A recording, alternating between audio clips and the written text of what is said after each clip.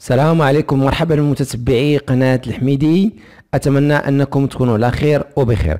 إذا بعد ما شنا كل من درس الإيمان والغيب وأيضا درس الإيمان والعلم وأيضا درس الإيمان والفلسفة هذا اليوم إن شاء الله غادي نشوفوا درس الإيمان وعمارة الأرض. لكن الناس لأول مرة كتشوف هذه القناة أتمنى على أنها تضغط على زر الاشتراك ثم تفعل الجرس باش تبقى توصل بكل جديد تنحطه على القناة. اذا آه غادي ننطلق من الفهرس نعرفكم على المحاور اللي غادي نتناولوا إن شاء الله في هذا الدرس هذا. اذا عندنا نصوص الانطلاق. عندنا اولا مبدأ الاستخلاف أساس عمارة الأرض. عندنا ألف مفهوم الاستخلاف وعمارة الأرض. عندنا باء مبدأ الاستخلاف أساس عمارة الأرض. ثانيا عندنا النهي عن الإفساد في الأرض. وثالثا وأخيرا واجب المؤمن عمارة الأرض وإصلاحها. اذا غادي ننطلقوا آه يعني مباشرة من النصوص الانطلاق. فقط يعني للإشارة إن شاء الله إلى اكتفيت فقط يعني بهذا الدرس اللي عطيتكم دابا.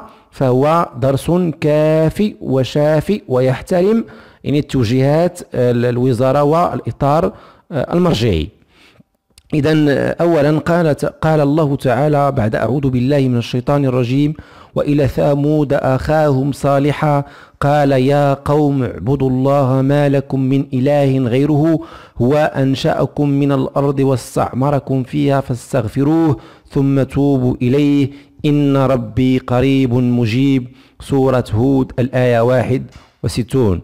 وأيضا قال الله تعالى بعد أعوذ بالله من الشيطان الرجيم وابتغي فيما آتاك الله الدار الآخرة ولا تنس نصيبك من الدنيا واحسن كما أحسن الله إليك ولا تبغي الفساد في الأرض إن الله لا يحب المفسدين.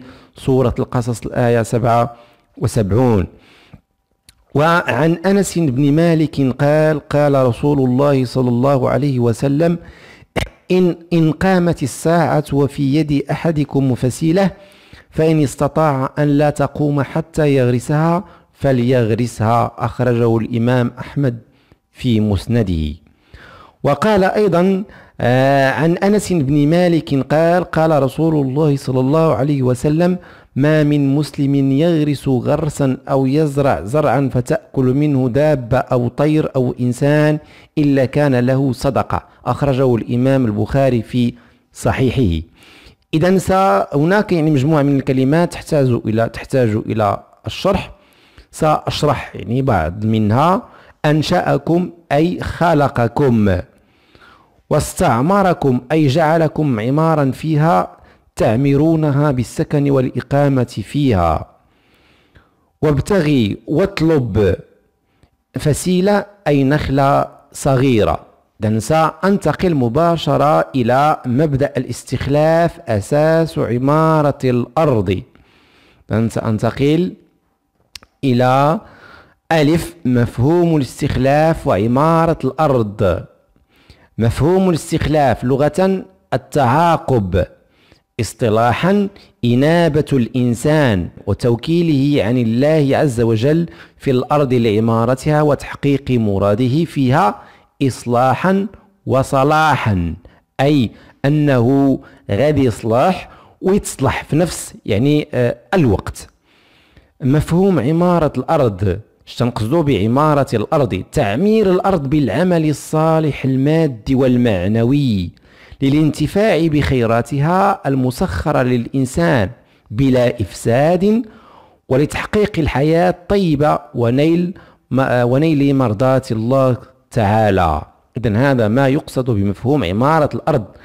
آه فقط يعني ما نكتفيش بعض الأحيان الشرح لأن مسائل واضحة وبينة يعني لا تحتاج إلى الشرح فقط يعني كتحتاج إلى آه الحفظ.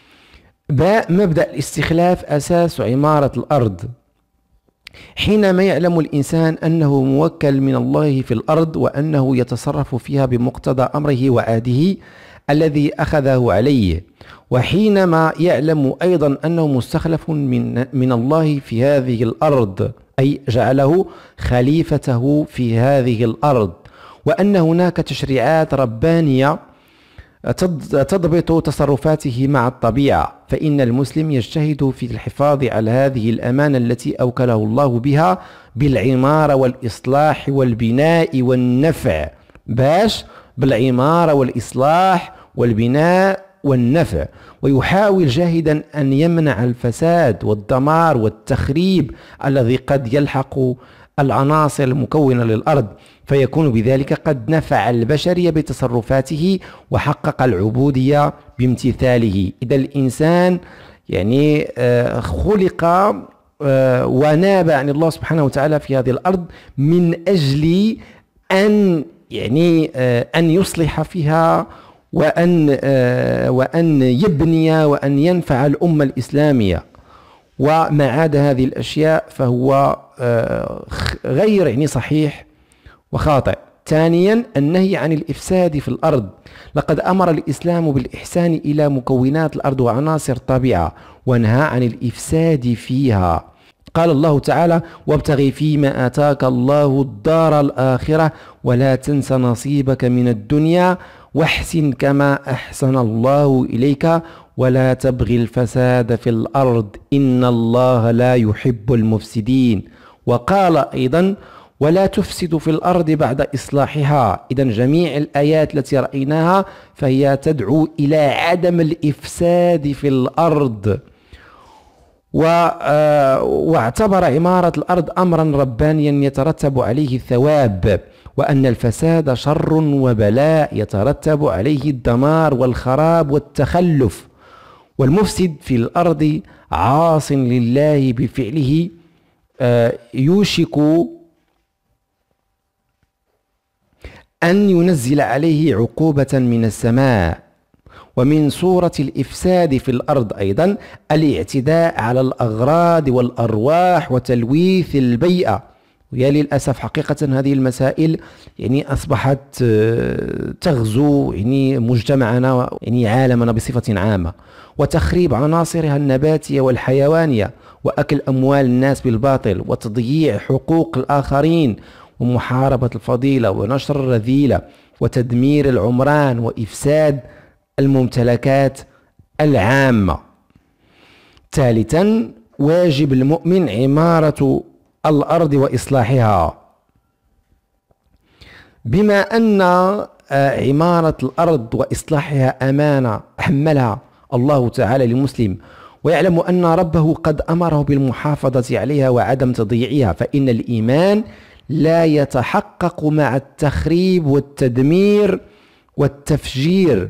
والاستغلال البشع للثروات بل يتحقق مع الإصلاح والبناء والتعمير وإظهار الجمال الذي أودعه الله في الطبيعة وإبراز عظمته من خلال مخلوقاته فيتعلق الخلق بالله تعالى محبة وطاعة وتنفيذا لأوامره. فتصلح الأرض ويستفيد الإنسان من خيراتها ومنافعها لأن ما الهدف من استعمار الإنسان للأرض؟ وأن يصلح فيها ليستفيد منها يعني أخوه الإنسان خيراتها ومنافعها. ولذلك كان المسلم مأمورا بالإصلاح لا بالإفساد والبناء لا بالهدم. ويحب عناصر الأرض.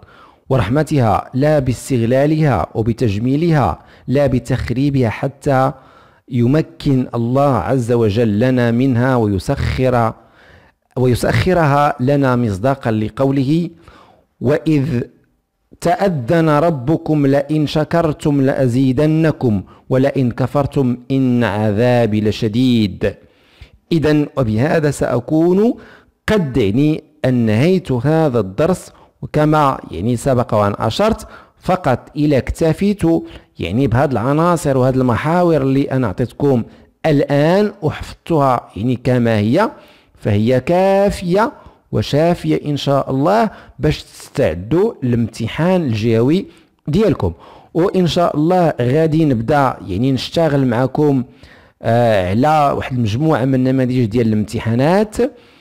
وفقط يعني آه آه كما قلت لكم آه غنبني على هاد التلخيص اللي عطيتكم أنايا.